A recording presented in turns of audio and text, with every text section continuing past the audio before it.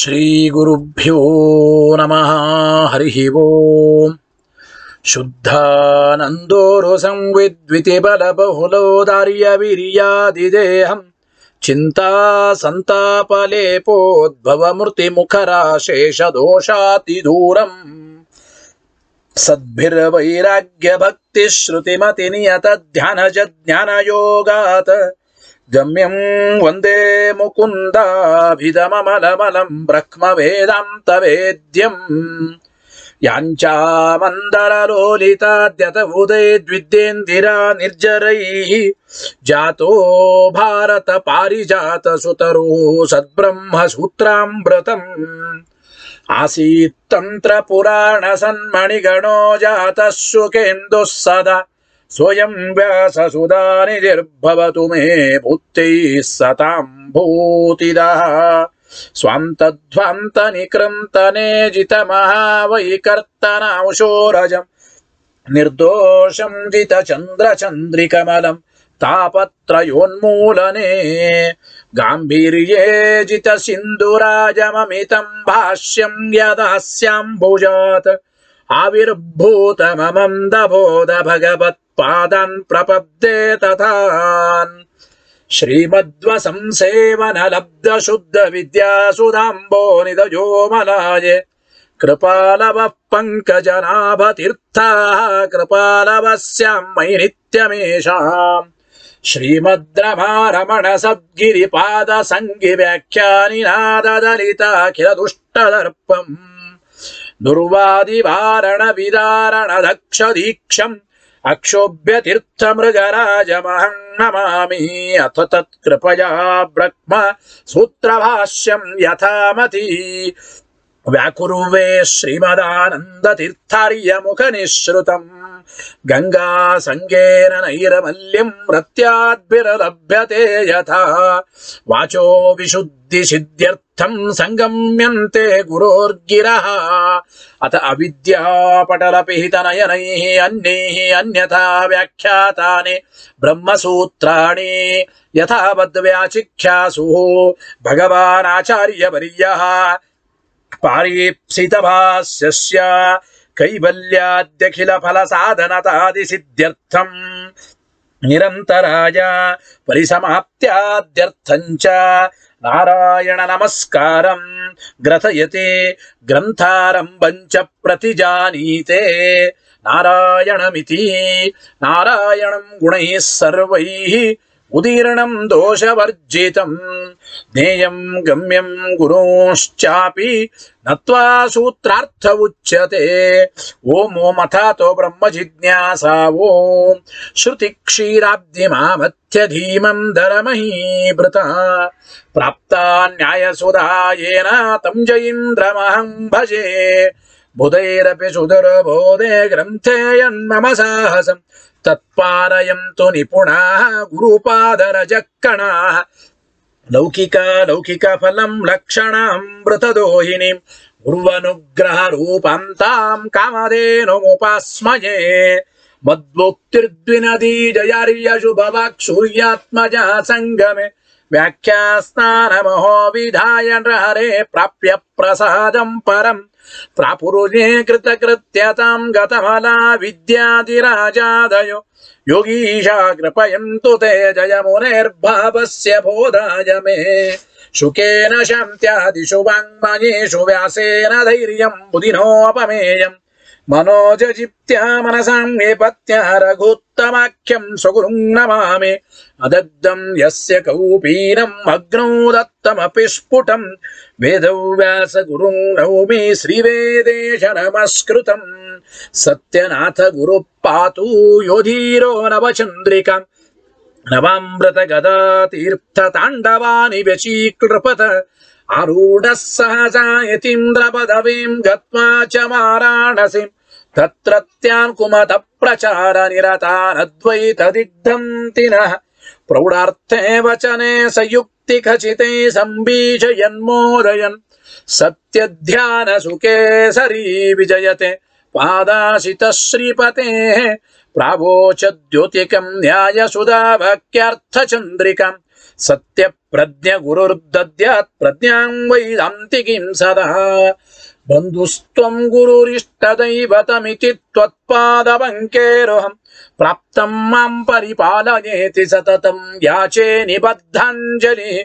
चित्तं मद्गुणदोषचिन्तनविदौ नुनं मनाक्मा कृताः सत्याभिज्ञगुरोस्त्वदङ्घ्रियुगलम् हित्वा न मे सद्गतिः सत्याभिघ्नकराब्जोत्थान् पञ्चाशद्वर्षपूजकान् सत्यप्रमोदतीर्थर्यान् नौमिन्याय सुदारतान् वेदेशमुनिसत्पाद सेवा सम्प्राप्त वैभवान् यादवार्यान् वरसुधा टीकाकारान् वयं नुम पृथ्वे मण्डलमध्यस्ताः पूर्णबोधमतानुगाः वैष्णवा विष्णुहृदया तान्नमस्ये गुरून्मम आपादमूले पर्यन्तं गुरूणामाकृतिं स्मरेत् तेन विघ्ना प्रणश्यन्ति सिद्ध्यन्ति च मनोरथाः शुभान् ध्यायन्ति ये कामान् गुरुदेवः प्रसादजान् इतरान् आत्मपापोत्थन् विद्या फलिष्यति। यैरहम् शुकवत् सम्यक् शिक्षितोऽस्मि कृपालुभिः। श्रीमः सत्यात्मतीर्थर्यन् वंदे विद्या गुरुन्मम गायित्री ಸಾಧಕಂ. ಮಠಾದಿಪೈರಮಾನಿತಂಚ ಸತ್ಯಾತ್ಮಾನಂ ಯತಿಂ ಭಜೆ. ಸ್ವಸ್ತ್ಯಸ್ತು ಸತಾಮಖಿಲ ಸನ್ಮಂಗಲಾನಿ ಭವಂತು. ಶ್ರೀ ಗುರುಭ್ಯೋ ನಮಃ. ಹರಿ ಓಂ. ಇವತ್ತಿನ ದಿನ ಬ್ರಹ್ಮಸೂತ್ರ ಭಾಷ್ಯ ತತ್ವಪ್ರಕಾಶಿಕೆಯಲ್ಲಿ ಮೂರನೇ ಅಧ್ಯಾಯ, ಮೊದಲನೆಯ ಪಾದ ವೈರಾಗ್ಯ ಪಾದ. ಆ ವೈರಾಗ್ಯ ಪಾದದಲ್ಲಿ ಹದಿನೇಳನೇ ಅಧಿಕರಣ. ಅನ್ಯಾಧಿಷ್ಠಿತಾಧಿಕರಣ ಅಂತ ಕರೀತಾ ಇದ್ದಾರೆ. ಈ ಅನ್ಯಾಧಿಷ್ಠಿತಾಧಿಕರಣದಲ್ಲಿ ಸ್ವರ್ಗದಿಂದ ಇಳಿದು ಬರುವ ಈ ಕರ್ಮಯೋಗಿಗೆ ದುಃಖ ಇಲ್ಲ ಎಂಬ ವಿಚಾರವನ್ನ ಈ ಅನ್ಯಾಧಿಷ್ಠಿತಾಧಿಕರಣದಲ್ಲಿ ಸಮರ್ಥನೆ ಮಾಡಿಕೊಡ್ತಾ ಇದ್ದಾರೆ ಅಂತ ಅರ್ಥ. ಏನ್ ಅಭಿಪ್ರಾಯ? ಆರಂಭದಲ್ಲಿ ಮೊದಲು ಟೀಕಾಕತ್ಪಾದರ ತತ್ವಪ್ರಕಾಶಿಕೆ ನೋಡೋಣ. ಅತ್ರ ಭಗವತ್ ಪ್ರಾಪ್ತಿ ಸಾಧನ ವೈರಾಗ್ಯಾಯ. ಕರ್ಮಿಣ ವೀಖ್ಯಾದಿ ಭಾವ ನಿರಾಸಾತ್. ಅಸ್ತಿ ಶಾಸ್ತ್ರಾದಿ ಸಂಗತಿ. ನೋಡಿ ಈ ಅಧಿಕರಣದಲ್ಲಿ ಭಗವಂತನ ಪ್ರಾಪ್ತಿಗೆ ಸಾಧನವಾದದ್ದು ವೈರಾಗ್ಯ. ಆ ವೈರಾಗ್ಯ ಹುಟ್ಟೋದಕ್ಕಾಗಿ ಸ್ವರ್ಗದಿಂದ ಇಳಿದು ಬರುವ ಈ ಕರ್ಮಯೋಗಿಗೆ ವೀಖ್ಯಾದಿ ಭಾವ ಇಲ್ಲ ಅಂಬೋದನ್ನ ಹೇಳ್ತಾ ಇದ್ದಾರೆ. ರೀಹಿ ಅಂದ್ರೆ ನೆಲ್ಲು, ಗೋಧಿ, ಈ ಜೀವ ಧಾನ್ಯ ಭಾವವನ್ನೇ ಹೊಂದುತ್ತಾನೆ ಅಂತ ಅಲ್ಲ. ಅಲ್ಲಿಯ ಜೀವರ ಸ್ಥಾನೈಕ್ಯವನ್ನು ಹೊಂದುತ್ತಾನೆ ಇಷ್ಟೇ ಅರ್ಥ. ಅಂತೂ ಸ್ವರ್ಗದಿಂದ ಇಳಿದು ಬರುವ ಈ ಕರ್ಮಯೋಗಿಗೆ ಆ ರ್ವೀಹಿ ಮೊದಲಾದ, ಅಂದ್ರೆ ಭತ್ತ ಮೊದಲಾದ ಧಾನ್ಯಗಳಲ್ಲಿರುವ ದೇವತೆಗಳಿಂದ ಐಕ್ಯ ಅಲ್ಲ. ಭಾವ ನಿರಾಸಾತ್.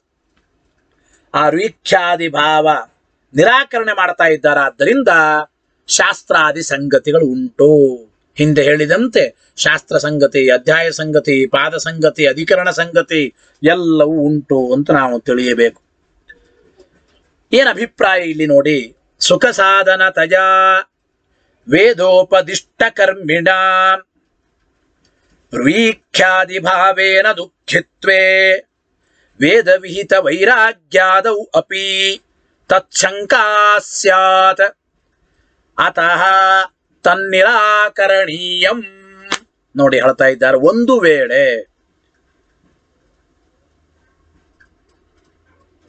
ಸುಖ ಸಾಧನವಾದದ್ದು ವೇದ ಉಪನಿಷತ್ತು ಮೊದಲಾದ ಶಾಸ್ತ್ರಗಳು. ಗೊತ್ತಾಯಿತು ಅಲ್ಲಿ ಸುಖಕ್ಕೆ ಸಾಧನವಾದ ವೇದ ಉಪನಿಷತ್ತು ಮೊದಲಾದ ಯಾಗಾದಿಗಳನ್ನ ಮಾಡೋದರಿಂದ ಅಂದ್ರೆ ವೇದೋಪದಿಷ್ಟ ಕರ್ಮಿಣಾಮ್ ಅಂತ ಅರ್ಥ. ಯಾಗ ಮೊದಲಾದ ಕರ್ಮಗಳನ್ನ ಮಾಡಬೇಕು ಯಾತಕ್ಕೆ ಮಾಡಬೇಕು ಅಂತ ಹೇಳ್ತಾರೆ? ಸುಖಕ್ಕಾಗಿ. ಅಂದ್ರೆ ಸುಖ ಸಾಧನವಾದ ಸುಖ ಸಾಧನತೆಯ ವೇದೋಪದಿಷ್ಟ ಕರ್ಮಿಣ ಅಂದ್ರೆ ವೇದದಲ್ಲಿ ಉಪದೇಶ ಮಾಡಿದ. ಆ ಯಾಗಾದಿ ಕರ್ಮಗಳನ್ನು ಮಾಡತಕ್ಕಂತಹ ಈ ಕರ್ಮಯೋಗಿಗಳಿಗೆ ಭಾವೇನ ದುಃಖಿತ್ವೇ.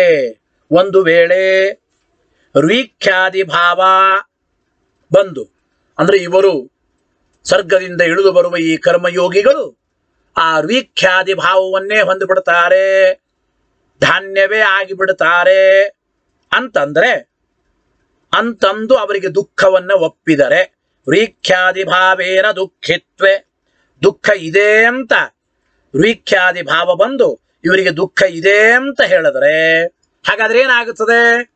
ವೇದ ವಿಹಿತ ವೈರಾಗ್ಯಾದವು ಅಪಿ ತತ್ಶಂಕ ಸ್ಯಾತ್. ನೋಡ್ರಿ, ವೇದ ಹೇಳಿದ ಯಜ್ಞಾದಿ ಕರ್ಮಗಳನ್ನ ಮಾಡಿದಾಗ ಅಂತಹ ಕರ್ಮಯೋಗಿಗಳಿಗೆ ರೀಖ್ಯಾದಿ ಭಾವ ಬಂದು ಅವರಿಗೆ ದುಃಖ ಇದೆ ಅಂತ ಆಗಿಬಿಟ್ರೆ ಇದೇ ರೀತಿ ವೇದ ವಿಹಿತವಾದ ವೈರಾಗ್ಯಾದಿಗಳ ಸಂಪಾದನೆಯ ವಿಚಾರದಲ್ಲಿಯೂ ಕೂಡ, ಅಂದ್ರೆ ವೈರಾಗ್ಯಾದಿ ವಿಷಯದಲ್ಲಿಯೂ ಕೂಡ ಹಾಗಾದ್ರೆ ಈ ಜೀವರಿಗೆ ದುಃಖ ಇದೆ ಅಂತ ಪ್ರಶ್ನೆ ಬರುತ್ತದೆ. ವೇದ ವಿಹಿತ ವೈರಾಗ್ಯಾದವು ಅಪಿ ತತ್ ಸ್ಯಾತ್. ಅತಃ ಆದ್ದರಿಂದ ತನ್ನಿರಾಕರಣೀಯಂ. ಆದ್ದರಿಂದ ಸರ್ವಥ ಯಜ್ಞ ಯಾಗಗಳನ್ನ ಮಾಡತಕ್ಕಂಥ ಈ ಕರ್ಮಯೋಗಿಗಳಿಗೆ ರೀಖ್ಯಾದಿ ಭಾವ ಬಂದು ದುಃಖ ಬರುತ್ತದೆ ಅಂತ ಅನ್ನಬೇಡಿ ರೀಖ್ಯಾದಿ ಭಾವ ಬಂದು ದುಃಖ ಇದೆ ಅಂತ ಹೇಳಬಾರದು. ವೇದ ವಿಹಿತವಾದ ಕರ್ಮಗಳನ್ನ ಮಾಡಿದಾಗ ಈ ಜೀವರಿಗೆ ರೀಹಿ ಅಂದ್ರೆ ಭತ್ತ. ಮೊದಲಾದ ಧಾನ್ಯಗಳ ರೂಪತೆ ಬಂದು ಇವರಿಗೆ ದುಃಖ ಬರುತ್ತದೆ ಅಂತ ಹಾಗೆ ಅಂದುಬಿಟ್ರೆ ಅದೇ ವೇದ ವಿಹಿತವಾದ ವೈರಾಗ್ಯಾದಿಗಳನ್ನು ಸಂಪಾದನೆ ಮಾಡಿದರೆ ದುಃಖ ಪ್ರಾಪ್ತವಾಗಬಹುದು ಅಂತ ಪ್ರಶ್ನೆ ಬರುತ್ತದೆ. ಅದಕ್ಕೆ ವೇದ ವಿಹಿತವಾದ ಈ ವೈರಾಗ್ಯಾದಿಗಳನ್ನು ಸಂಪಾದನೆ ಮಾಡೋದೇ ಬೇಡ, ಹೀಗೆಲ್ಲ ಅನ್ನಿಸ್ತದೆ. ಅದಕ್ಕಾಗಿ ಸರ್ವತಾ ಹಾಗಲ್ಲ ವೇದ ವಿಹಿತವಾದ ಯಜ್ಞ ಯಾಗಾದಿಗಳನ್ನು ಮಾಡೋದ್ರಿಂದ ಈ ಕರ್ಮಯೋಗಿಗಳಿಗೆ ರೀಖ್ಯಾದಿ ಭಾವ ಬಂದು ದುಃಖ ಬರುತ್ತದೆ ಅಂತ ಅನಬೇಡಿ ಎಂಬ ಮಾತನ್ನ ಹೇಳ್ತಾ ಇದ್ದಾರೆ. ಏನ್ ಅಭಿಪ್ರಾಯ ಒಟ್ಟು ಹಾಗಾದ್ರೆ? ಈ ಅನ್ಯಾಧಿಷ್ಠ ಅನ್ಯಾಧಿಷ್ಠಿತಾಧಿಕರಣದಲ್ಲಿ ವಿಷಯ ಏನು, ಸಂದೇಹ ಏನು, ಸಂದೇಹ ಬೀಜ ಏನು ಪೂರ್ವ ಪಕ್ಷ ಏನು, ಸಿದ್ಧಾಂತ ಏನು? ಆ ವಿಚಾರವನ್ನು ತಿಳಿಸ್ತಾ ಹೋಗುತ್ತಾ ನೋಡಿ. ಕರ್ಮಿಣ ವಿಷಯ. ಈ ಅನ್ಯಾಧಿಷ್ಠಿತಾಧಿಕರಣಕ್ಕೆ ಸ್ವರ್ಗದಿಂದ ಇಳಿದು ಬರುವ ಕರ್ಮಯೋಗಿಗಳೇ ವಿಷಯ. ಇಲ್ಲಿ ಕರ್ಮಿಗಳು ಅಂದ್ರೆ ಕರ್ಮಯೋಗಿಗಳೇ ವಿಷಯ. ಸಂದೇಹ ಏನಪ್ಪ? ಕಿಂ ಆಗಮನೆ, ದುಃಖವಂತಹ ನವಾ ಇತಿ ಸಂದೇಹ. ಈ ಕರ್ಮಯೋಗಿಗಳು ಸ್ವರ್ಗದಿಂದ ಇಳಿದು ಬರುವಾಗ ದುಃಖ ಉಳ್ಳವರು ಹೌದೋ ಅಲ್ಲವೋ? ದುಃಖ ಉಳ್ಳವರು ಅಲ್ಲವೋ ಅಥವಾ ಹೌದೋ? ಕಿಮ ಆಗಮನೆ, ಸ್ವರ್ಗದಿಂದ ಇಳಿದು ಬರುವಾಗ ಮತ್ತೆ ಪುನಃ ಭೂಮಿಗೆ ಬರುವಾಗ ಈ ಕರ್ಮಯೋಗಿಗಳು ದುಃಖವಂತಹ ನವ ದುಃಖ ಉಳ್ಳವರು ಅಲ್ಲವೋ ಅಥವಾ ದುಃಖ ಉಳ್ಳವರು ಆಗಿದ್ದಾರೋ? ದುಃಖ ಉಳ್ಳವರು ಅಥವಾ ಇಲ್ಲವೋ? ಯಾಕೆ ಸಂದೇಹ ಬಂತು? ಲೋಕದೃಷ್ಟಿ ಪುರುಷಾರ್ಥತ್ವಂಚ ಸಂದೇಹ ಬೀಜಂ. ಲೋಕದೃಷ್ಟಿ, ಲೋಕದಲ್ಲಿ ಹೋಗೋದು, ಬರೋದು ಬಹಳ ಮಾಡ್ತಾನೆ ಇದ್ರೆ ಗಮನಾಗಮನಗಳು ಆಯಾಸಕ್ಕೆ ಕಾರಣ ಅಲ್ವಾ? ಅಂತೂ ಲೋಕದೃಷ್ಟಿಯಿಂದ ಈ ಕರ್ಮಯೋಗಿಗಳು ಸ್ವರ್ಗದಿಂದ ಇಳಿದು ಬರುವಾಗ ದುಃಖ ಉಳ್ಳವರು ಅಂತ ಹೇಳೋಣವಾ. ಅಥವಾ ಇದು ಪುರುಷಾರ್ಥ ಇದು. ಸ್ವರ್ಗಾದಿಗಳಿಂದ ಪುಣ್ಯದ ಫಲವನ್ನ ಅನುಭವಿಸಿ, ಸುಖವನ್ನ ಅನುಭವಿಸಿ ಬರ್ತಾ ಇರ್ತಾರೆ ಇದು ಪುರುಷಾರ್ಥದ ವಿಚಾರವಾದ್ದರಿಂದ ಸರ್ವಥಾ ಕರ್ಮಯೋಗಿಗಳು ದುಃಖ ಉಳ್ಳವರಲ್ಲ ಅಂತಂಬೋಣವೋ ಲೌಕಿಕ ದೃಷ್ಟಿಯಿಂದ ಯೋಚನೆ ಮಾಡಿದರೆ ದುಃಖ ಉಳ್ಳವರೋ, ಅಥವಾ ಇದು ಪುರುಷಾರ್ಥ ಅಂತ ಯೋಚನೆ ಮಾಡಿದರೆ ಈ ಕರ್ಮಯೋಗಿಗಳು ದುಃಖ ಉಳ್ಳವರಲ್ಲ ಅಂತ ಹೀಗೆ ಯೋಚನೆ ಮಾಡೋಣ? ಹೇಗೆ ಯೋಚನೆ ಮಾಡೋಣ ಅಂತ? ಅಂತೂ ಸರ್ಗದಿಂದ ಇಳಿದು ಬರುವ ಕರ್ಮಯೋಗಿಗಳು ದುಃಖ ಉಳ್ಳವರೋ ಅಥವಾ ಅಲ್ಲವೋ ಎಂಬ ಸಂದೇಹ ಬರತಾ ಇದೆ ಅಂತ ಅಭಿಪ್ರಾಯ. ಏನು ಹಾಗಾದ್ರೆ ಪೂರ್ವ ಪಕ್ಷ ನೋಡಿ ಪೂರ್ವ ಪಕ್ಷವನ್ನು ಹೇಳ್ತಾ ಇದ್ದಾರೆ. ಅಸ್ತೇವ ಕರ್ಮಿಣ ಆಗಮನೆ ದುಃಖಂ. ಸ್ವರ್ಗದಿಂದ ಇಳಿದು ಬರುವಾಗ ಈ ಕರ್ಮಯೋಗಿಗಳಿಗೆ ಅವಶ್ಯವಾಗಿ ದುಃಖ ಉಂಟು ಅಂತ ಹೇಳ್ತಾ ಇದ್ದ ಪೂರ್ವ ಪಕ್ಷ. ಅಸ್ತೇವ ಕರ್ಮಿಣಾಂ ಆಗಮನೆ ದುಃಖಂ. ಯಾಕೆ? ತೇಹ ಇಹ ಯವಾಹ ಇತಿ ಶ್ರುತೇ ಸ್ವರ್ಗದಿಂದ ಇಳಿದು ಬರುವ ಈ ಕರ್ಮಯೋಗಿಗಳು ರುವೀಹಿ ಯವ ಅಂದ್ರೆ ನೆಲ್ಲು ಅಂದ್ರೆ ಭತ್ತ ಗೋಧಿ ಮೊದಲಾದ ಧಾನ್ಯಗಳ ರೂಪವನ್ನ ತಾಳತಾರೆ. ಗೋಧಿ ಮೊದಲಾದ ಧಾನ್ಯಗಳ ರೂಪವನ್ನ ತಾಳತಾರೆ. ಅಂಥೇಳಿ ಛಾಂದೋಗ್ಯೋಪನಿಷತ್ತಿನ ಮಾತು. ಈ ಛಾಂದೋಗ್ಯೋಪನಿಷತ್ತಿನ ವಾಕ್ಯ ಶ್ರುತಿ ಇರೋದ್ರಿಂದ ಇತಿ ಶ್ರುತೇ ತೇಷಾಂ ರುಖ್ಯಾದಿ ಭಾವ ದರ್ಶನಾತ್ ಇವರಿಗೆ ರುಖ್ಯಾದಿ ಭಾವ ಎಂಬುದು ಇದೆ ಅಂತ ಹೇಳ್ತಾ ಇದ್ದಾರೆ. ಇಷ್ಟಕ್ಕೆ ರುಖ್ಯಾದಿ ಭಾವ ಇದ್ದ ಮೇಲೆ ಅಂದ್ರೆ ಈ ಸ್ವರ್ಗದಿಂದ ಇಳಿದು ಬರುವ ಈ ಕರ್ಮಯೋಗಿಗಳೇ ರೀಹಿ ಯವ ಮೊದಲಾದ ಧಾನ್ಯಗಳಾಗುತ್ತಾರೆ ಧಾನ್ಯ ರೂಪತ ಇವರಿಗೆ ಬರುತ್ತದೆ. ಧಾನ್ಯವನ್ನು ಕುಟ್ಟಿದಾಗ ಧಾನ್ಯ ರೂಪದಲ್ಲಿದ್ದ ಈ ಜೀವರಿಗೆ ದುಃಖ ಆಗೋದೇನೆ ಅಂತ ಅವರ ಅಭಿಪ್ರಾಯ. ತದ್ಭಾವೇ, ತದ್ಭಾವೆ ಅಂದ್ರೆ ಏನು? ಸ್ವರ್ಗದಿಂದ ಇಳಿದು ಬರುವ ಈ ಕರ್ಮಯೋಗಿಗಳಿಗೆ ರೀಖ್ಯಾದಿ ಭಾವ ಬಂದು ಬಿಟ್ರೆ ತದ್ಭಾವೆ ಛೇದಾದಿನ ದುಃಖ ನಿಯಮಾತ್. ಆ ಭತ್ತವನ್ನ ಕುಟ್ಟುತ್ತಾರೆ ಪುಡಿ ಮಾಡ್ತಾರೆ, ಹಿಟ್ಟು ಮಾಡ್ತಾರೆ. ಎಲ್ಲ ಛೇದಾದಿಗಳಿಂದ ದುಃಖ ಆಗುತ್ತದೋ ಇಲ್ಲೋ? ಸ್ವರ್ಗದಿಂದ ಇಳಿದು ಬರುವ ಕರ್ಮಯೋಗಿಗಳು ರುಯಿಖ್ಯಾದಿ ಭಾವವನ್ನು ಹೊಂದಿಬಿಟ್ರೆ ರುಹಿ ಮೊದಲಾದ ಧಾನ್ಯಗಳನ್ನ ಕುಟ್ಟೋದು, ಬೀಸೋದು, ಎಲ್ಲ ಮಾಡೋದ್ರಿಂದ ಧಾನ್ಯದ ರೂಪದಲ್ಲಿರತಕ್ಕಂತಹ ಕರ್ಮಯೋಗಿಗಳಿಗೆ ದುಃಖ ಆಗೋದೇನೆ. ಅಂತ ಪೂರ್ವ ಪಕ್ಷಿಗಳು ಈ ಹೇಳ್ತಾ ಇದ್ದಾರೆ ಅಂತ ಅಭಿಪ್ರಾಯ. ಗೊತ್ತಾಯ್ತಾ? ತದ್ಭಾವೇ ಛೇದಾದಿನ ದುಃಖ ನಿಯಮಾತ. ಇಷ್ಟು. ಇದು ಪೂರ್ವ ಪಕ್ಷ, ಅದಕ್ಕೆ ಮತ್ತೆ ಸಮರ್ಥನೆ ಮಾಡ್ತಾರೆ ಅವರೇನೆ. ಭಾಷ್ಯವಾಕ್ಯ ಹೇಳಿ ಅರ್ಥ ತಿಳಿಯಿರಿ. ಅನ್ಯಾಧಿಷ್ಠಿತೇರ್ವೀಖ್ಯಾದಿ ಶರೀರೇ. ಪ್ರವೇಶ ನತು ಭೋಗ ಅಸ್ಯ. ಇದು ಮುಂದಿನ ಭಾಷ್ಯ. ಈ ಹಿಂದಿನ ಭಾಷ್ಯ ಮೊದಲು ಹೇಳಬೇಕು. ಇದ್ರ ಹಿಂದಿನ ಭಾಷ್ಯ ಏನು ಅಂತಂದ್ರೆ ನೋಡಿ. ತೇ ಇಹ ರೀಹಿ ಯವಾಹ. ಹೇಳಿ. ತೇ ಇಹ ಯವಾಹ. ಓಷಧಿ ವನಸ್ಪತಯ ತಿಲಾಹ ಮಾಷಾಹ ಇತಿ ಜಾಯಂತೆ. ಛಾಂದೋಗ್ಯೋಪನಿಷತ್ತಿನ ಮಾತಿದು. ಅಂದ್ರತ್ತೆ, ಇಹ ಸ್ವರ್ಗದಿಂದ ಇಳಿದು ಬರುವ ಕರ್ಮಯೋಗಿಗಳು ರುವೀಹಿ ಯವಾಹ. ರುವೀಹಿ ಅಂದ್ರೆ ನೆಲ್ಲು, ಯವಾಹ ಅಂದ್ರೆ ಯವೋದಕ ಅಂದ್ರೆ ಗೋಧಿ. ಬಾರ್ಲಿ ಅಂತ ಕರೀತಾರೆ, ಇರ್ಲಿ. ಅಂತೂ ಗೋಧಿ ಮೊದಲಾದ ಧಾನ್ಯಗಳು. ಓಷಧೀಹಿ ಔಷಧಿಗಳು ಗಿಡಮೂಲಿಕೆಗಳು. ವನಸ್ಪತಯ ಅಂದ್ರೆ ಗಿಡಗಳು. ತಿಲಾಹ ಅಂದ್ರೆ ಎಳ್ಳು. ಮಾಶಾಹ ಉದ್ದು. ಇತಿಜಾಯಂತೆ. ಈ ರೀತಿಯಾಗಿ ಅನೇಕ ಧಾನ್ಯಗಳ ರೂಪದಲ್ಲಿ ಸ್ವರ್ಗದಿಂದ ಇಳಿದು ಬರುವ ಕರ್ಮಯೋಗಿಗಳು ಹುಟ್ಟುತ್ತಾ ಇದ್ದಾರೆ. ಧಾನ್ಯ ರೂಪವನ್ನು ತಾಳ್ತಾ ಇದ್ದಾರೆ. ಇತಿ ಶ್ರವಣಾತ್. ಇದು ಪೂರ್ವ ಪಕ್ಷ ಈ ರೀತಿ ಛಾಂದೋಗ್ಯೋಪನಿಷತ್ತಿನಲ್ಲಿ ಶ್ರುತವಾದ್ದರಿಂದ ಇತಿ ಶ್ರವಣಾತ್ ಅನರ್ಥ ಫಲತ್ವಂ ಯಜ್ಞಾದೇಹೆ. ಇತಿ ಆದ್ರಿಂದ ಯಜ್ಞ ಯಾಗಗಳನ್ನ ಮಾಡೋದ್ರಿಂದ ಯಜ್ಞ ಯಾಗಗಳನ್ನ ಮಾಡಿದ ಕರ್ಮಯೋಗಿಗೆ ರುವಿಖ್ಯಾದಿ ಭಾವ ಬಂದು ಆ ರುವಿಖ್ಯಾದಿಗಳನ್ನ ಕುಟ್ಟೋದ್ರಿಂದ, ಕತ್ತರಿಸೋದ್ರಿಂದ ಅವರಿಗೆ ದುಃಖ ಇದ್ದೇ ಇದೆ. ಅಂತೂ ಯಜ್ಞಯಾಗಾದಿ ಕರ್ಮಗಳು ಅವು ಅನರ್ಥ ಫಲಕ್ಕೆ ಕಾರಣ. ಅಂತ ಇಷ್ಟು ಪೂರ್ವ ಪಕ್ಷ ಭಾಷ್ಯಾರ್ಥದ ವಿಚಾರ. ಇಲ್ಲಿ ಮುಂದೆ ನೋಡಿ ನಾವು ಅನ್ನಬಹುದು ಇಲ್ಲ, ಸ್ವರ್ಗದಿಂದ ಇಳಿದು ಬರುವ ಕರ್ಮಯೋಗಿಗಳು ರುವಿಖ್ಯಾದಿ ಭಾವವನ್ನು ಹೊಂದುತ್ತಾರೆ ಅಂತಂದರೆ, ಹಿಂದಿನಂತೆ ಅರ್ಥ ಮಾಡಿಬಿಡೋಣ ಅಂದ್ರೆ ಹಂಗ ಬರಲ್ಲ ಅಂತ ಇದ್ದರು. ನಚ ಇಯಂ ಶ್ರುತಿ ಧೂಮಾದಿ ಭಾವ ಶ್ರುತಿವತ ವ್ಯಾಖ್ಯೇಯ. ಇಲ್ಲಿ ಒಂದು ಪ್ರಶ್ನೆ. ಹಿಂದಿನ ಅಧಿಕರಣದಲ್ಲಿ ಧೂಮಾದಿ ಭಾವ ಹೇಗೆ ಬರುತ್ತದೆ?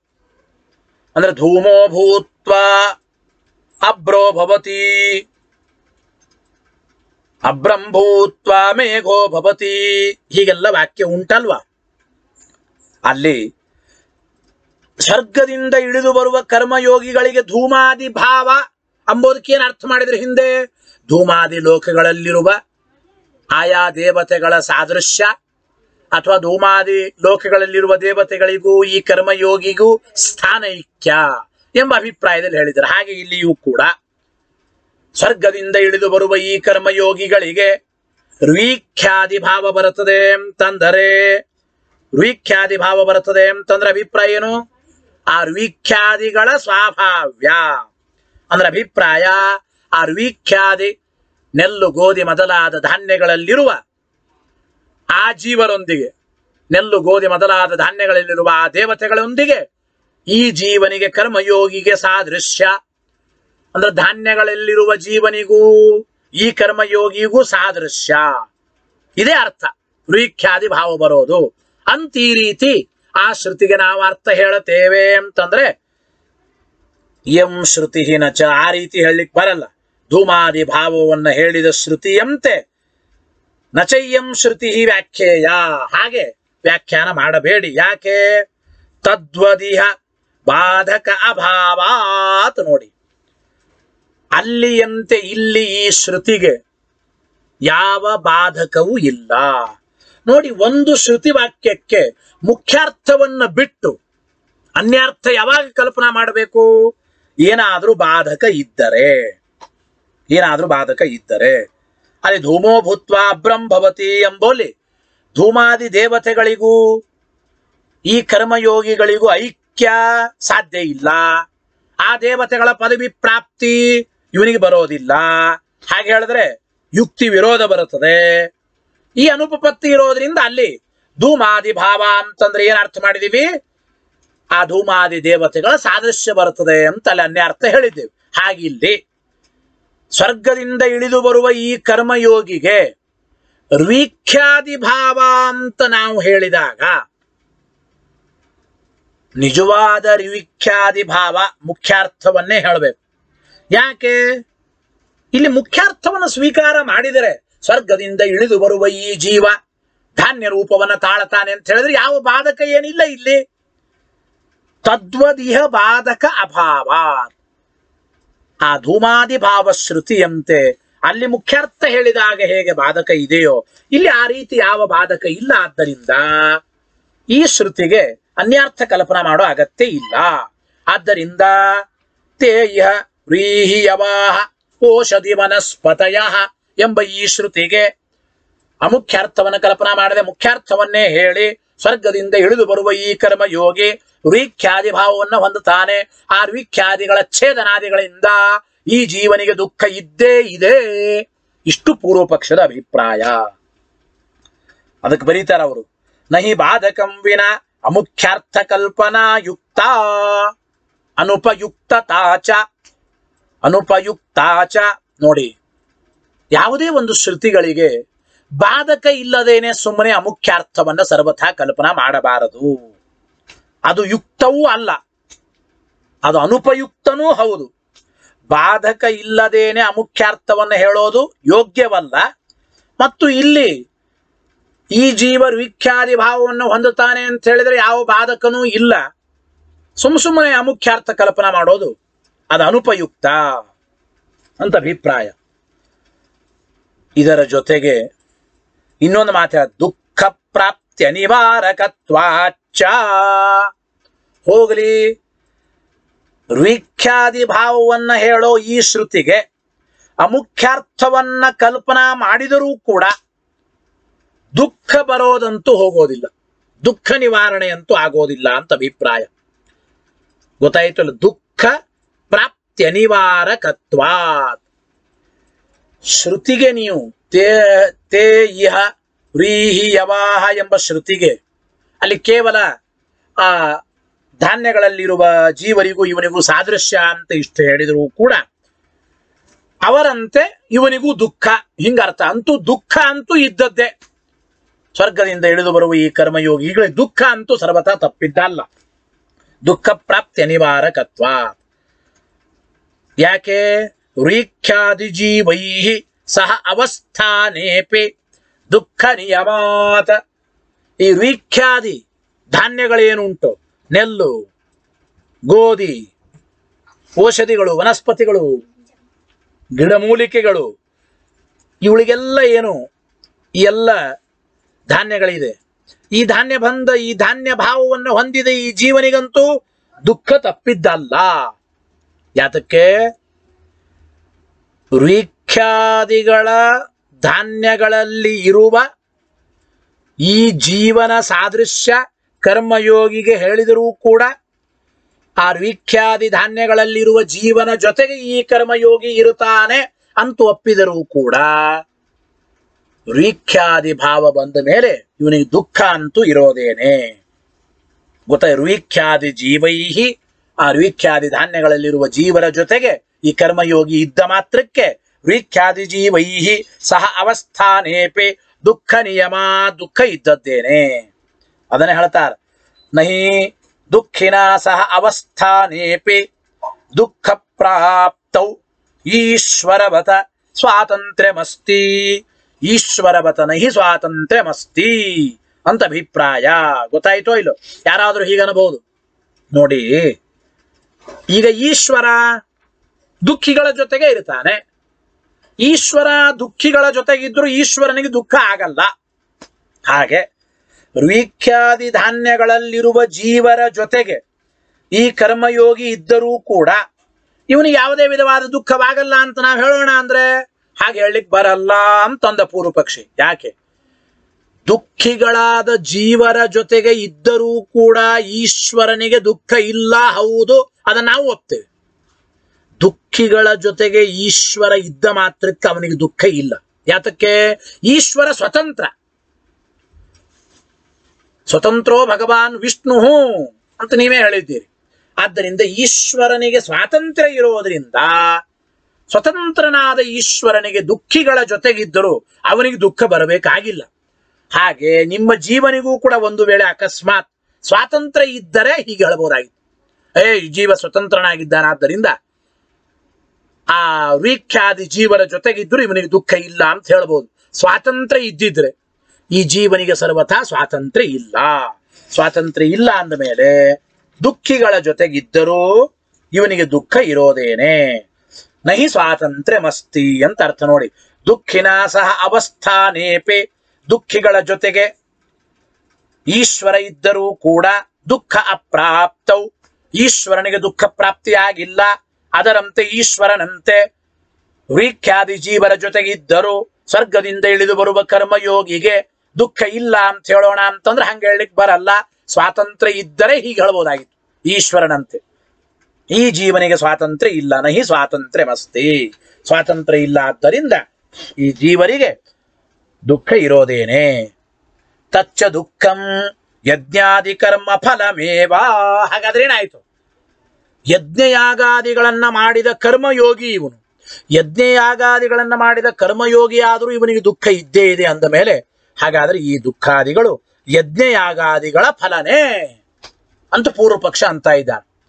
ತಚ್ಚ ದುಃಖಂ ಇಂತಹ ಕರ್ಮಯೋಗಿಗೆ ಆಗುವ ದುಃಖ, ಅದು ಯಜ್ಞಯಾಗಾದಿಗಳ ಫಲನೇ. ಯಜ್ಞಾದಿ ಕರ್ಮ ಫಲಮೇವ. ಆದ್ರಿಂದ ಆಗಮನಾದೇ. ಸ್ವರ್ಗದಿಂದ ಇಳಿದು ಬರತಕ್ಕಂಥದ್ದು ಏನು ಯಜ್ಞಾದಿ ಫಲ ಇದೆ? ಯಜ್ಞಾದಿ ಫಲತ್ವಸ್ಯ ಪ್ರತಿಪಾದಿತತ್ವಾದ ಸ್ವರ್ಗಾದಿಗಳಿಂದ ಇಳಿದು ಬರತಕ್ಕಂಥದ್ದು ಇದು ಯಜ್ಞಾದಿಗಳ ಫಲನೇ. ಅದರಿಂದ ಯಜ್ಞಾದಿಗಳ ಫಲ ಅನುಭವಿಸುವಾಗ ಈ ಕರ್ಮಯೋಗಿಗೆ ದುಃಖ ಇದೆ. ಅಂದಮೇಲೆ ಯಜ್ಞಾದಿಗಳ ಫಲವೇ ಈ ದುಃಖಾದಿಗಳು ಅಂತ ಆಯ್ತಲ್ಲ ಅಂತ ಅವರ ಪ್ರಶ್ನೆ. ಅತಃ ದುಃಖ ಸಾಧನತಯ. ಆದ್ರಿಂದ ದುಃಖಕ್ಕೆ ಸಾಧನವಾದ, ವೇದೋದಿತವಾದ ಈ ಯಜ್ಞಾದಿ ಕರ್ಮಗಳು ಇವು ದುಃಖ ಸಾಧನವೇ ಆಗಿವೆ. ಅಂದ್ರೆ ಸುಖ ಸಾಧನಕ್ಕಾಗಿ ಅಂತ ಹೇಳಲ್ಪಟ್ಟ, ಸುಖ ಸಾಧನವಾಗಿವೆ ಅಂತ ವೇದಶಾಸ್ತ್ರಗಳಲ್ಲಿ ಹೇಳಲ್ಪಟ್ಟ ಕರ್ಮಗಳು ಅವು ದುಃಖ ಸಾಧನವೇ ಆಗಿವೆ. ಅತಃ ಸುಖ ಸಾಧನತೆಯ ವೇದೋದಿತಸ್ಯಾಪಿ. ಈ ಕರ್ಮ ಸುಖಕ್ಕೆ ಸಾಧನ ಅಂತ ವೇದದಲ್ಲಿ ಹೇಳಿದರೂ ಕೂಡ ವಸ್ತುತಃ ನಾವು ವಿಚಾರ ಮಾಡಿ ನೋಡ ನೋಡಲಾಗಿ ಯಜ್ಞಾದಿ ಕರ್ಮಗಳು ದುಃಖಕ್ಕೆ ಸಾಧನ. ಕರ್ಮಣ ದುಃಖ ಸಾಧನತ್ವೇ. ಅವು ದುಃಖಕ್ಕೆ ಸಾಧನವಾಗಿವೆ. ಆದ್ದರಿಂದ ಮೋಕ್ಷ ಹೇತುತ್ವೇನ ಉಪದಿಷ್ಟ. ಮೋಕ್ಷಕ್ಕೆ ಕಾರಣ ಅಂತ ಉಪದೇಶ ಮಾಡಿದ, ಆ ವೇದಶಾಸ್ತ್ರಗಳಿಂದ ತಿಳಿಯಲ್ಪಡುವ ವೈರಾಗ್ಯಾದಿಗಳ ವಿಚಾರದಲ್ಲಿಯೂ ಕೂಡ ವಿಶ್ವಾಸ ಬರೋದಿಲ್ಲ. ನೋಡಿ ವೇದ ಏನ್ ಹೇಳಿತು ಮೊದಲು? ಯಜ್ಞಯಾಗಾದಿ ರೂಪ ಕರ್ಮಗಳು ಸುಖಕ್ಕೆ ಸಾಧನ ಅಂತ ಹೇಳಿತ್ತು. ಆದರೆ ಈ ಯಜ್ಞಯಾಗಾದಿ ರೂಪ ಕರ್ಮಗಳು ಈ ಸುಖಕ್ಕೆ ಸಾಧನ ಆಯಿತಾ? ದುಃಖಕ್ಕೆ ಸಾಧನ ಆಗಿದೆ. ಅದೇ ರೀತಿ ಮೋಕ್ಷಕ್ಕೆ ಕಾರಣ ಈ ಕರ್ಮಾದಿಗಳು, ವೈರಾಗ್ಯಾದಿಗಳ ಸಂಪಾದನೆ ಇದು ಮೋಕ್ಷಕ್ಕೆ ಕಾರಣ ಅಂತ ವೇದ ಹೇಳಿತು. ಆದರೆ ಹಿಂದೆ ಕರ್ಮಗಳು ಹೇಗೆ ಸುಖಕ್ಕೆ ಕಾರಣ ಅಂತ ವೇದವೇ ಹೇಳಿದೆ, ಅದು ಸುಳ್ಳವಾಯಿತು. ಆ ಯಜ್ಞ ಯಾಗಾದಿ ಕರ್ಮಗಳು ಹೇಗೆ ದುಃಖಕ್ಕೆ ಸಾಧನವಾಗಿವೆ ಅದೇ ರೀತಿ. ಈ ವೇದ ವೈರಾಗ್ಯಾದಿಗಳನ್ನ ಮೋಕ್ಷಕ್ಕೆ ಕಾರಣ ಅಂತ ಹೇಳಿತು, ಆದರೆ ಇಲ್ಲ. ಅದು ವಿಶ್ವಾಸ ಬರಲ್ಲ ನಮಗೀಗ, ವೇದಶಾಸ್ತ್ರಗಳ ಮೇಲೆ. ಮೋಕ್ಷ ಹೇತು ಅಂತ ಹೇಳಿದ ವೇದಗಳಿಂದ ಹೇಳಲ್ಪಟ್ಟ ವೈರಾಗ್ಯಾದಿಗಳ ವಿಚಾರದಲ್ಲಿಯೂ ಕೂಡ ವೈರಾಗ್ಯಾದಿಗಳು ಸರ್ವಥಾ ಮೋಕ್ಷಕ್ಕೆ ಸಾಧನ ಆಗಿಲ್ಲ ಅಂತೆ ನಮಗನಿಸ್ತದೆ. ವೈರಾಗ್ಯಾದಿಗಳ ವಿಚಾರದಲ್ಲಿ ವಿಶ್ವಾಸ ಇಲ್ಲ. ಆದ್ದರಿಂದ ಅನನುಷ್ಠೇಯತ್ವ ತಸ್ಯ ಇತಿ ಭಾವ. ಆದ್ದರಿಂದ ವೈರಾಗ್ಯಾದಿಗಳನ್ನು ಸಂಪಾದನೆ ಮಾಡುವ ಕಾರಣ ಇಲ್ಲ. ಅಂತ ಪೂರ್ವಪಕ್ಷ ಇತಿ ಭಾವ. ಇತಿ ಶಬ್ದ ಅನ್ಯ ಉಪಲಕ್ಷಣಾರ್ಥ ಎಂಬ ಮಾತನ್ನು ಹೇಳ್ತಾ ಇದ್ದಾರೆ. ಇತಿ ಶಬ್ದ ಉಪಲಕ್ಷಣತೆಯ ನಾವು ಬೇರೆದನ್ನು ಕೂಡ ಅದನ್ನ ಸ್ವೀಕಾರ ಮಾಡಬೇಕು ಅಂತ ಅಭಿಪ್ರಾಯ. ಅಂದ್ರೆ ರೀಹಿ ಯವಾಹ ಅಂತ ಹೇಳಿದ್ದಾರೆ. ತಿಲಾಹ ಮಾಷಾಹ ಇತಿ ಜಾಯಂತೆ ಅಂತ ಶ್ರುತಿಯಲ್ಲಿ ಬಂತು. ತಿಲಾಹ ಮಾಷಾಹ ಇತಿ ಜಾಯಂತೆ. ಅಲ್ಲಿ ಇತಿ ಶಬ್ದಕ್ಕೆ ಎಳ್ಳು ಮತ್ತು ಉದ್ದು ಎರಡನ್ನೇ ಹೇಳಿದ್ದಾರೆ. ಉಪಲಕ್ಷಣತೆಯ ಬೇರೆ ಧಾನ್ಯಗಳು, ಪ್ರಿಯಂಗು ಮೊದಲಾದವುಗಳನ್ನು ಕೂಡ ನಾವು ಸ್ವೀಕಾರ ಮಾಡಬಹುದು, ಬೇರೆ ಧಾನ್ಯಗಳನ್ನು ತಗೋಬಹುದು ಅಂತ ಅಭಿಪ್ರಾಯ. ಅಂತೂ ನೋಡಿ ಸುಖ ಸಾಧನ ಅಂತ ವೇದ ಹೇಳಿದ ಕರ್ಮಾದಿಗಳು ದುಃಖ ಸಾಧನವಾದ್ದರಿಂದ ಅದೇ ವೇದ. ಈ ಒಂದು ವೈರಾಗ್ಯಾದಿಗಳು ಮೋಕ್ಷಕ್ಕೆ ಕಾರಣ ಅಂತ ಹೇಳಿವೆ. ಆದರೆ ಹಿಂದೆ ನಮಗೆ ವೇದ ಒಂದು ಬಾರಿ ಮೋಸ ಮಾಡಿತು. ಸುಖ ಸಾಧನ ಅಂತ ಕರ್ಮಾದಿಗಳನ್ನು ಹೇಳಿದಾಗ ಆ ಕರ್ಮಾದಿಗಳು ಸುಖ ಸಾಧನವಾಗದೇನೆ ದುಃಖಕ್ಕೇ ಸಾಧನವಾಗಿವೆ. ಅಂದ ಮೇಲೆ ಈ ವೇದ ಹೇಳಿದ್ದು ಸುಳ್ಳು. ಈಗಲೂ ಕೂಡ ವೈರಾಗ್ಯಾದಿಗಳು ಮೋಕ್ಷ ಸಾಧನ ಅಂತ ವೇದ ಹೇಳುತ್ತದೆ. ಆದರೆ ಆ ವೇದದ ಮೇಲೆ ನಮಗೆ ಈಗ ವಿಶ್ವಾಸ ಬರೋದಿಲ್ಲ. ಯಾತಕ್ಕೆ? ವೇದದ ಮೇಲೆ ವಿಶ್ವಾಸ ಬರಲ್ಲ. ಯಾತಕ್ಕೆ? ವೈರಾಗ್ಯಾದಿಗಳು ಮೋಕ್ಷ ಸಾಧನ ಅಂತ ಹೇಳುತ್ತದೆ ವೇದ. ಆದರೆ ವೈರಾಗ್ಯಾದಿಗಳು ಮೋಕ್ಷಕ್ಕೆ ಸಾಧನೆ ಅಲ್ಲ. ದುಃಖಕ್ಕೆ ಸಾಧನೆ ಆಗಬಹುದು ಅಂತ ನಮಗೆ ಮುಂದೆ ಅನಿಸಿದ್ರೆ ಹೇಳಲಿಕ್ಕೆ ಬರಲ್ಲ. ಆದ್ದರಿಂದ ವೈರಾಗ್ಯಾದಿಗಳು ಕೂಡ ಮೋಕ್ಷಕ್ಕೆ ಕಾರಣ ಅಲ್ಲ ಅಂತ ನಮಗನಿಸೋದ್ರಿಂದ ವೈರಾಗ್ಯಾದಿಗಳ ವಿಚಾರದಲ್ಲಿಯೂ ವಿಶ್ವಾಸ ಇಲ್ಲ. ವೈರಾಗ್ಯಾದಿಗಳನ್ನು ಸಂಪಾದನೆ ಮಾಡೋ ಕಾರಣ ಇಲ್ಲ. ಆದ್ದರಿಂದ ಸ್ವರ್ಗದಿಂದ ಇಳಿದು ಬರುವ ಈ ಕರ್ಮಯೋಗಿಗೆ ದುಃಖವೇ ಉಂಟು ಅಂತ ಇಷ್ಟೆಲ್ಲ ಪೂರ್ವ ಪಕ್ಷ ಬಂದರೆ ಅದಕ್ಕೆ ಸಿದ್ಧಾಂತಯ ಸೂತ್ರಮವತಾರ್ಯ ವ್ಯಾಜಷ್ಟೇ ಸಿದ್ಧಾಂತವನ್ನು ಹೇಳ್ತಾ ಸೂತ್ರಕ್ಕೆ ಅವತರಣಿಕೆಯನ್ನ ಕೊಟ್ಟು ಆಚಾರ್ಯರು ವ್ಯಾಖ್ಯಾನ ಮಾಡ್ತಾ ಇದ್ದಾರೆ. ಅತಃ ಭಕ್ತಿ ಹೇಳಿ ಭಾಷ್ಯ. ಅತಃ ಭಕ್ತಿ ಸೂತ್ರ ಹೇಳಿ. ಓಂ ಅನ್ಯಾಧಿಷ್ಠಿತೆ ಪೂರ್ವವದಭಿಲಾಪಾತೋ. ಈ ರೀತಿ ಪೂರ್ವ ಪಕ್ಷ ಬಂದ್ರೆ ಅತಃ ಭಕ್ತಿ ಆಚಾರ ಹೇಳ್ತಾರೆ. ಸೂತ್ರಕಾರ ವೇದವ್ಯಾಸರು ಸೂತ್ರ ಮಾಡಿದರೆ ಯಾವುದು? ಓಂ ಅನ್ಯಾಧಿಷ್ಠಿತೆ ಪೂರ್ವವತ ಅಭಿಲಾಪಾತ್. ಓಂ ಏನ ಅಭಿಪ್ರಾಯ? ಕರ್ಮವನ್ನ ಅನುಷ್ಠಾನ ಮಾಡಿದ ವ್ಯಕ್ತಿಗೆ ಅನ್ಯಾಧಿಷ್ಠಿತೆ.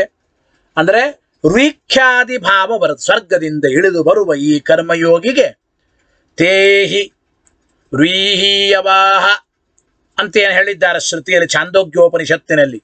ಕರ್ಮಯೋಗಿಗೆ ರುಖ್ಯಾದಿಗಳ ಭಾವ. ಅಂದ್ರೆ ಅಭಿಪ್ರಾಯ ಏನು? ಆ ರುಖ್ಯಾದಿ ಧಾನ್ಯಗಳಲ್ಲಿ ಇದ್ದ ವ್ಯಕ್ತಿಯ ಸಾದೃಶ್ಯ.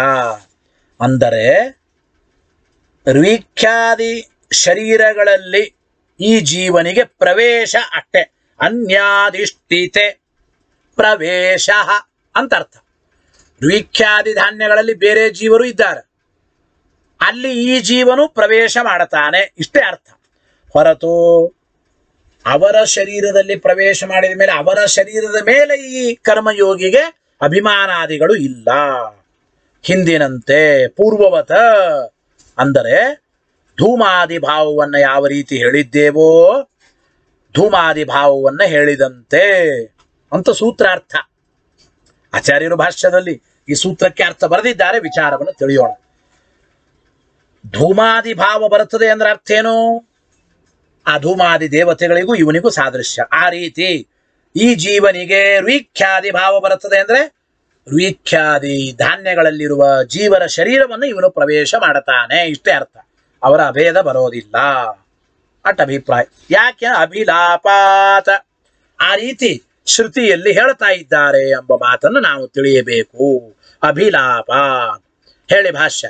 ಅನ್ಯಾಧಿಷ್ಠಿತೇ ವಿಖ್ಯಾದಿ ಶರೀರೆ. ಪ್ರವೇಶ ವಿಖ್ಯಾದಿ ಧಾನ್ಯಗಳಲ್ಲಿರುವ ಜೀವರ ಶರೀರದಲ್ಲಿ ಈ ಸ್ವರ್ಗದಿಂದ ಇಳಿದು ಬರುವ ಜೀವ ಪ್ರವೇಶ ಮಾಡ್ತಾನಷ್ಟೇ. ನತು ಭೋಗೋ ಅಸ್ಯ. ಸ್ವರ್ಗದಿಂದ ಇಳಿದು ಬರುವ ಈ ಕರ್ಮಯೋಗಿಗೆ ಆ ರೀಖ್ಯಾದಿ ಧಾನ್ಯಗಳಲ್ಲಿರುವ ಜೀವರ ಒಂದು ಸುಖ ದುಃಖಗಳ ಭೋಗ ಇವನಿಗಿಲ್ಲ ಅಂತ ಅಭಿಪ್ರಾಯ. ಆ ವೀಖ್ಯಾದಿಗಳಿಂದ ಛೇದನಾದಿಗಳನ್ನ ಮಾಡಿದಾಗ ವೀಖ್ಯಾದಿಗಳ ಛೇದನಾದಿಗಳಿಂದ ಇವನಿಗೆ ದುಃಖದ ಪ್ರಸಕ್ತಿ ಇಲ್ಲ. ವೀಖ್ಯಾದಿ ಶರೀರದಲ್ಲಿ ಇವನು ಪ್ರವೇಶ ಮಾಡಿದ ಮಾತ್ರಕ್ಕೆ ಅಲ್ಲಿಯ ದುಃಖ ಭೋಗ ಸರ್ವಥ ಇವನಿಗಿಲ್ಲನತು ಭೋಗ ಹಾಸ್ಯ. ಇಷ್ಟು ಭಾಷ್ಯಾರ್ಥ. ಟೀಕಾಕೃತ್ಪಾದರು ವಿವರಣೆ ಬರೀತಾರೆ ನೋಡಿ.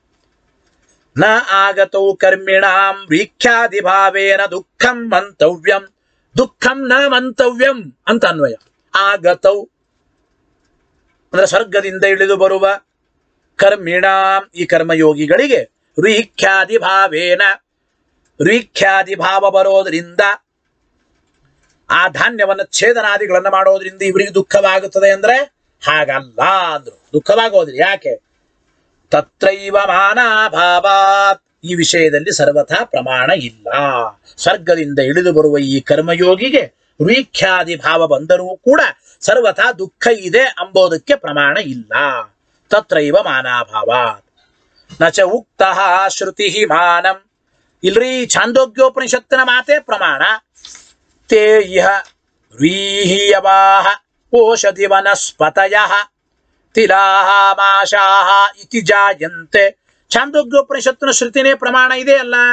ರುಖ್ಯಾದಿ ಭಾವ ಬಂದ ಮೇಲೆ ರುಖ್ಯಾದಿಗಳ ಛೇದನಾದಿಗಳಿಂದ ಅಲ್ಲಿ ಇರುವ ಈ ಜೀವನಿಗೆ ದುಃಖ ಆಗುತ್ತದೆ ಅಂತ ಹೇಳ್ಬೋದಲ್ಲಿ ಛಾಂದೋಗ್ಯೋಪನಿಷತ್ತಿನ ಮಾತೆ ಪ್ರಮಾಣ ಅಂದ್ರೆ ಹಂಗಲ್ಲ.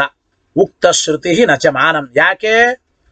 ಯತಃ ಅಸ್ಯಾಂ ಶ್ರುತವು ಈ ಶ್ರುತಿಯಲ್ಲಿ, ತೇ ಇಹರ್ವೀಯವಾಹ ಎಂಬ ಶ್ರುತಿಯಲ್ಲಿ ರೀಖ್ಯಾದಿ ಭಾವ ಈ ಕರ್ಮಯೋಗಿಗೆ ಬರುತ್ತದೆ. ಅಂದ್ರೆ ಅರ್ಥ ಏನು? ಅದನ್ನ ತಿಳಿಸ್ಕೊಡ್ತಾ ಇದ್ದಾರೆ. ಏನ್ ಅಭಿಪ್ರಾಯ ಅಂತಂದ್ರೆ ನೋಡಿ. ಅಸ್ಯಾಂ ಶ್ರುತೌ ಕರ್ಮಿಣ ವೀಖ್ಯಾದಿ ಶರೀರ ಪ್ರವೇಶ ಏವ ಉಚ್ಯತೆ.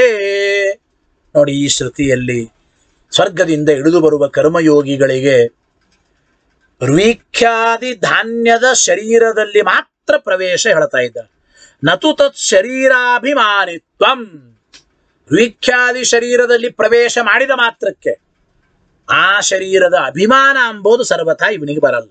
ದುಃಖಾದಿಗಳಿಗೆ ಕಾರಣ ಅಭಿಮಾನವೇ ಮುಖ್ಯ ಹೌದೋ ಇಲ್ಲ. ಮಲಗಿಕೊಂಡಾಗ ಶರೀರದ ಮೇಲೆ ಏನು ಅಭಿಮಾನ ಇರಲ್ಲ. ಈ ಶರೀರಕ್ಕೆ ಆಗುವ ಯಾವ ದುಃಖದ ಸಂಬಂಧ ಮಲಗಿಕೊಂಡಾಗ ಜೀವನಿಗಿಲ್ಲ ಎಚ್ಚರ ಇದ್ದಾಗ ಶರೀರದ ಮೇಲೆ ಅಭಿಮಾನ. ಆವಾಗ ದುಃಖ, ಶರೀರಕ್ಕೆ ಏನಾದರೂ ನಮಗೆ ದುಃಖ ಆಗುತ್ತದೆ. ಅಂತೂ ಅಭಿಮಾನವೇ ದುಃಖಕ್ಕೆ ಕಾರಣ. ಅಂದ ಮೇಲೆ ಕೇವಲ ವೀಖ್ಯಾದಿ ಭಾವ ಬರೋದು ಅಂದ್ರೆ ಶರೀರಗಳ ಪ್ರವೇಶ. ಇಷ್ಟೇ ಅರ್ಥ. ಹೊರತು ಆ ಶರೀರದ ಮೇಲೆ ಅಭಿಮಾನ ಇವನಿಗಿರಲ್ಲ. ಅದನ್ನೇ ಬರೀತಾರೆ. ನಚ ತಸ್ಯ ತತ್ ಶರೀರ ಅಭಿಮಾನ ಅಭಾವೆ. ಹೃದ್ಯಾದ್ಯ ಯೋಗ. ಎಂಬ ಮಾತನ್ನ ಹೇಳ್ತಾ ಇದ್ದಾರೆ. ಗೊತ್ತಾಯ್ತೋ ಇಲ್ಲೋ? ಅಂದ್ರೆ ಅಭಿಪ್ರಾಯ, ಕರ್ಮಯೋಗಿಗೆ ರೀಖ್ಯಾದಿ ಶರೀರದಲ್ಲಿ ಅಭಿಮಾನವಿಲ್ಲ ಅಂತಂದ್ರೆ ಅವುಗಳ ಬೆಳವಣಿಗೆ ಮೊದಲಾದವುಗಳು ಹೇಗೆ ಕೂಡೋದು ಅಂತ ಪ್ರಶ್ನೆ ಬರ್ಬೋದು.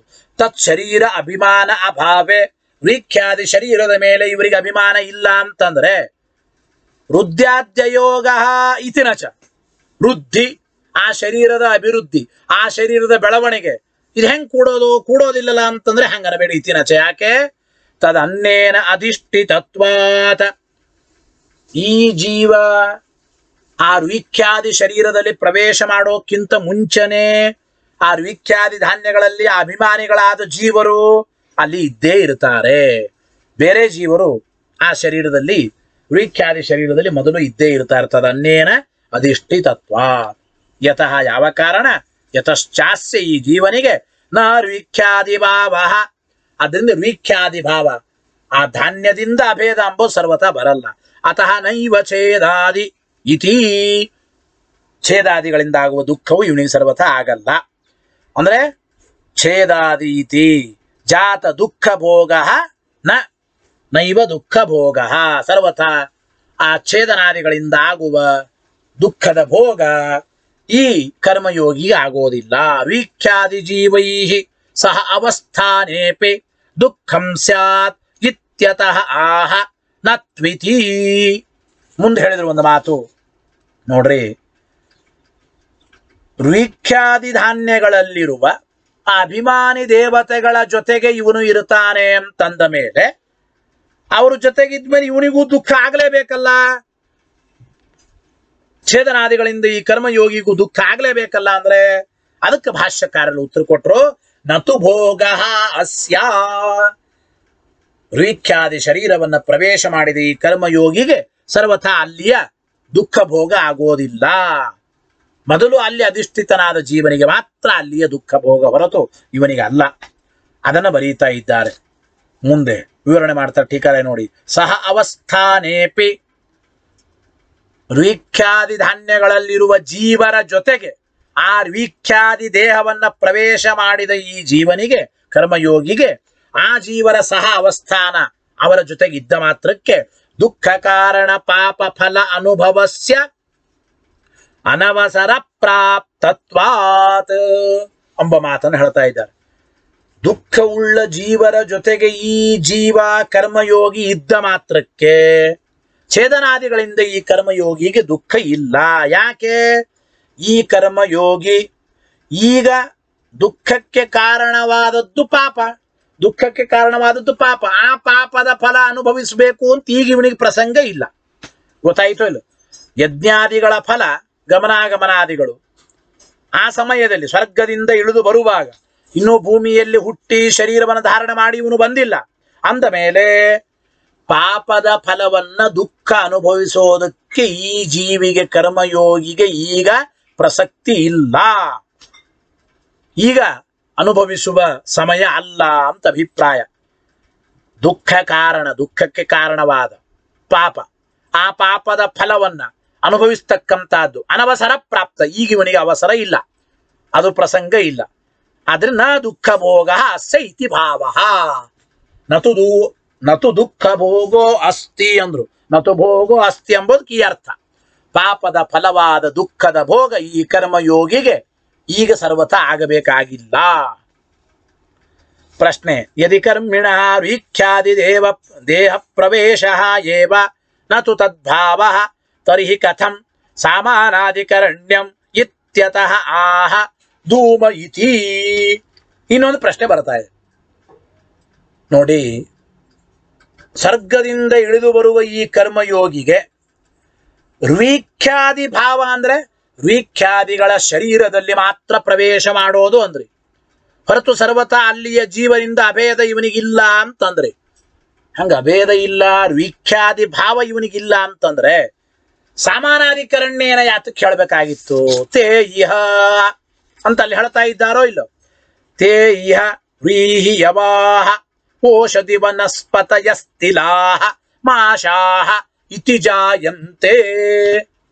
ಈ ಜೀವರು ಆ ವೀಖ್ಯಾದಿಗಳನ್ನು ಹೇಳಿಕೊಡ್ತಕ್ಕಂಥ ಶಬ್ದಗಳನ್ನ ಒಂದೇ ವಚನ ವಿಭಕ್ತಿಯಲ್ಲಿ ಬಳಸ್ತಾ ಇದ್ದಾರೆ. ಸಾಮಾನಾಧಿಕರಣ್ಯ ಉಂಟು. ಮತ್ತು ಸಾಮಾನಾಧಿಕರಣ್ಯಕ್ಕೆ ಏನು ಅರ್ಥ? ಈ ಸಾಮಾನ್ಯವಾಗಿ ಸಾಮಾನಾಧಿಕರಣ್ಯ ಅಂದ್ರೆ ಏನು? ಬ್ರಹ್ಮೋಹಂ.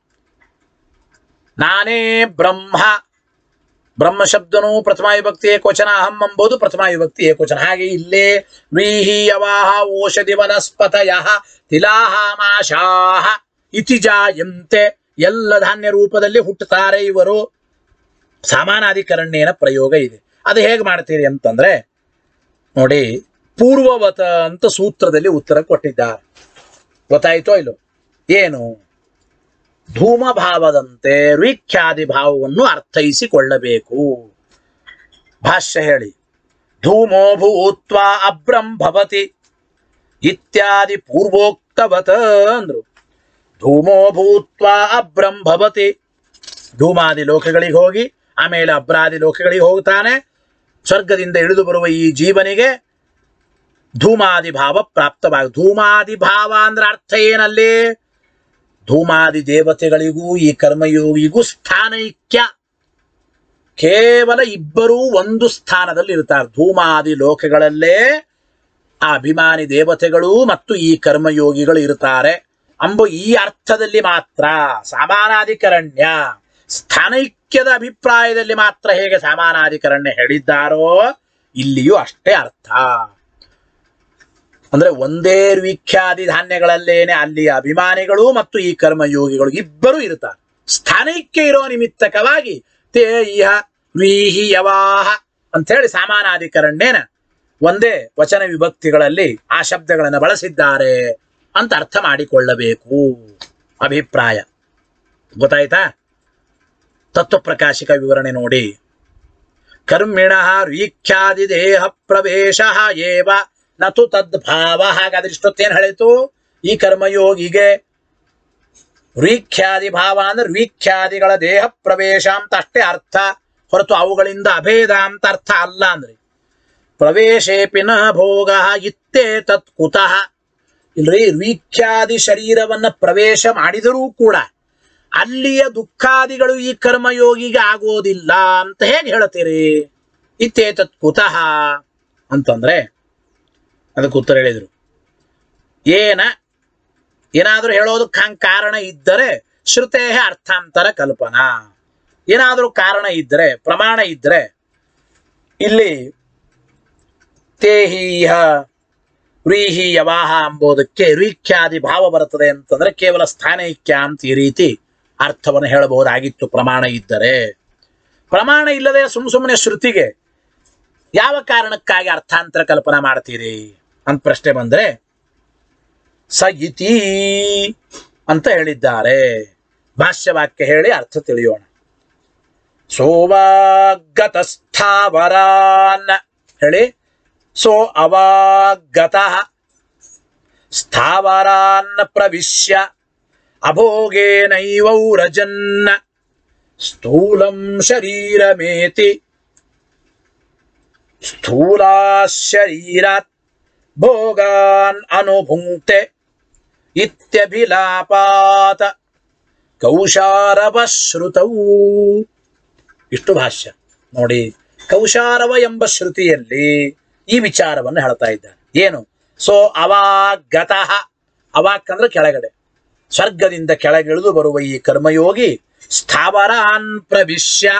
ಸ್ಥಾವರ ಜೀವನನ್ನ ಅಂದ್ರೆ ವೃಖ್ಯಾದಿ ಶರೀರಗಳನ್ನು ಪ್ರವೇಶ ಮಾಡಿ ಅಭೋಗೇನೈವ ರಜನ್. ಅಲ್ಲಿಯ ದುಃಖಾದಿಗಳ ಭೋಗವನ್ನು ಅನುಭವಿಸದೇನೆ. ಅಭೋಗೇನೈವ ರಜನ್. ಸ್ಥೂಲಂ ಶರೀರಮೇತಿ. ಮುಂದೆ ಸ್ಥೂಲ ಶರೀರವನ್ನು ಹೊಂದುತ್ತಾನೆ. ಭೂಮಿಯ ಮೇಲೆ ಹುಟ್ಟಿ ಬಂದು ಸ್ಥೂಲ ಶರೀರವನ್ನು ಪಡೆಯುತ್ತಾನೆ. ಸ್ಥೂಲಾನ್ ಶರೀರ, ಸ್ಥೂಲಾತ್ ಶರೀರ ಆ ಸ್ಥೂಲ ಶರೀರದ ಮುಖಾಂತರವೇ ಭೋಗಾನನುಭುಂಕ್ತೆ ಈ ಕರ್ಮಯೋಗಿ ಭೋಗಗಳನ್ನು ಅನುಭವಿಸ್ತಾನೆ. ಇತ್ಯಭಿಲಾಪಾತ್ ಕೌಶಾರವ ಶ್ರುತು ಕೌಶಾರವ ಶ್ರುತಿಯಲ್ಲಿ ಈ ರೀತಿ ಹೇಳ್ತಾ ಇದ್ದಾರೆ ಅಂತ ಅಭಿಪ್ರಾಯ. ನೋಡಿ, ಅಭೋಗೇನೈವ ರಜನ್ ಅಂದ್ರೆ ಅರ್ಥ ಏನು? ಅಭೋಗೇನ ರಜನ್ ಇತ್ಯಸ್ಯ ಸಹ ಅವಸ್ಥಾನೇಪಿ ದುಃಖ ಅನನುಭವೇನ ವರ್ತಮಾನ ಇತ್ಯರ್ಥ.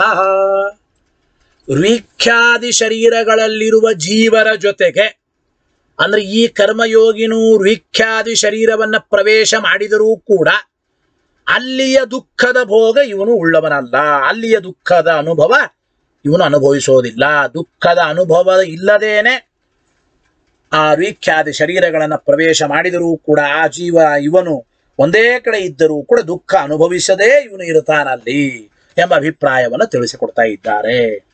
ಇದಕ್ಕೆ ವರಾಹ ಪುರಾಣದ ಮಾತನ್ನು ಕೊಟ್ಟು ಆಚಾರ್ಯರು ಭಾಷ್ಯದಲ್ಲಿ ತಿಳಿಸಿಕೊಡ್ತಾ ಇದ್ದ ನೋಡಿ. ಸ್ವರ್ಗಾದವಾಗತೋ ದೇಹಿ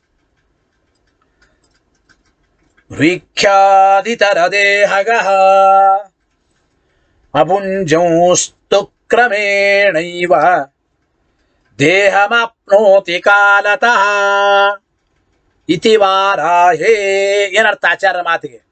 ಸ್ವರ್ಗಾದವಾಗತಃ ದೇಹಿ ಸ್ವರ್ಗದಿಂದ ಕೆಳಗಿಳಿದು ಬರುವ ಈ ಕರ್ಮಯೋಗಿಯು ರುವೀಖ್ಯಾದಿತರ ದೇಹಗಃ ರುವೀಖ್ಯ ಮೊದಲಾದ ಧಾನ್ಯಗಳ ದೇಹದಲ್ಲಿ ಪ್ರವೇಶ ಮಾಡಿ ಅಭುಂಜಂಸ್ತು, ಅಲ್ಲಿ ಯಾವುದೇ ದುಃಖವನ್ನು ಪ್ರವೇಶ ದುಃಖವನ್ನು ಅನುಭವಿಸದೇನೆ ಕ್ರಮೇಣೈವ ಕಾಲತಃ ದೇಹಮಾಪ್ನೋತಿ. ಕ್ರಮವಾಗಿ ಇವನು ಅವನವನ ಕರ್ಮಕ್ಕೆ ತಕ್ಕಂತೆ ಕಾಲಾನುಸಾರವಾಗಿ ಸ್ಥೂಲ ದೇಹವನ್ನು ಹೊಂದುತ್ತಾನೆ ಎಂಬ ವಿಚಾರವನ್ನು ಇಲ್ಲಿ ತಿಳಿಸಿಕೊಡ್ತಾ ಇದ್ದಾರೆ. ಇದರ ಮೇಲೆ ಒಂದು ಪ್ರಶ್ನೋತ್ತರ ಬರುತ್ತದೆ. ಮತ್ತು ವಿಶೇಷವಾಗಿ, ಅಂತೂ ಅಭಿಪ್ರಾಯ ಇಷ್ಟು ಇವತ್ತು ನಾವು ತಿಳಿಯೋದು, ಸ್ವರ್ಗದಿಂದ ಇಳಿದು ಬರುವ ಈ ಕರ್ಮಯೋಗಿ ವೀಖ್ಯಾದಿ ಭಾವ ಹೊಂದೋದು ಅಂದ್ರೆ ವೀಖ್ಯಾದಿಗಳ ಶರೀರದಲ್ಲಿ ಪ್ರವೇಶ ಮಾಡ್ತಾರಷ್ಟೆ. ಅಂದರೆ ವೀಖ್ಯಾದಿಗಳ ಶರೀರದಲ್ಲಿರುವ ಬೇರೆ ಜೀವರ ಜೊತೆಗೆ ಇವನಿರ್ತಾನೆ. ಅಲ್ಲಿಯ ದುಃಖವನ್ನು ಅನುಭವಿಸದೇನೆ. ಇವನು ಕೆಳಗಿಳಿದು ಬರ್ತಾನೆ. ಆಮೇಲೆ ಭೂಮಿಗೆ ಬಂದ ಮೇಲೆ ತಂದೆ ತಾಯಿಗಳ ಮುಖಾಂತರ ಸ್ಥೂಲ ಶರೀರವನ್ನ ಪಡೆದೇನೆ ಕರ್ಮಕ್ಕೆ ತಕ್ಕಂತೆ ಇವನು ಭೋಗವನ್ನು ಅನುಭವಿಸ್ತಾನೆ ಅಂತ ಅರ್ಥ ಮಾಡಬೇಕು. ಇದರ ಮೇಲೆ ಇನ್ನೂ ಸ್ವಲ್ಪ ಪ್ರಶ್ನೋತ್ತರಗಳಿದೆ. ಆ ವಿಚಾರವನ್ನು ಮತ್ತೆ ಇನ್ನೊಂದು ಹದಿನೈದು ಇಪ್ಪತ್ತು ನಿಮಿಷದ ಪಾಠ ಇದೆ. ಅದಾದ ಮೇಲೆ ಮುಂದೆ ಇನ್ನೊಂದು ಅಧಿಕರಣದ ವಿಚಾರ ನಾಳೆ ತಿಳಿಯೋಣ ಅಂತ ಹೇಳ್ತಾ ಇದ್ದೇನೆ. ಗೊತ್ತಾಯಿತೋ ಇಲ್ಲ? ಇನ್ನೊಂದು ವಿಶೇಷ ಉಚ್ಚಾರ ಉಂಟು. ಹತ್ತೊಂಬತ್ತನೇ ಅಧಿಕರಣದಲ್ಲಿಯೂ ಕೂಡ ಅದನ್ನು ತಿಳಿಸಿಕೊಡ್ತಾ ಇದ್ದಾರೆ. ಅದನ್ನು ಮತ್ತೆ ನಾಳೆ ತಿಳಿಯೋಣ. ಹದಿನೆಂಟನೇ ಅಧಿಕರಣದ ಮುಕ್ತಾಯ ಮತ್ತು ಹತ್ತೊಂಬತ್ತನೇ ಅಧಿಕರಣ ರೇತೋಧಿಕರಣ ಅಂತ ಕರೀತಾರೆ. ಆ ವಿಚಾರವನ್ನು ಎಲ್ಲ ಮತ್ತೆ ನಾಳೆ ತಿಳಿಯೋಣ. ಹರಯೇ ನಮಃ. ಶ್ರೀಕೃಷ್ಣಾರ್ಪಣ ವಸ್ತು ನಾಳೆ ನೇರವಾಗಿ ಶ್ರೀಮಠದಲ್ಲೇ ಪಾಠ ಇದೆ. ಆನ್ಲೈನ್ ಮುಖಾಂತರವೂ ಇದೆ.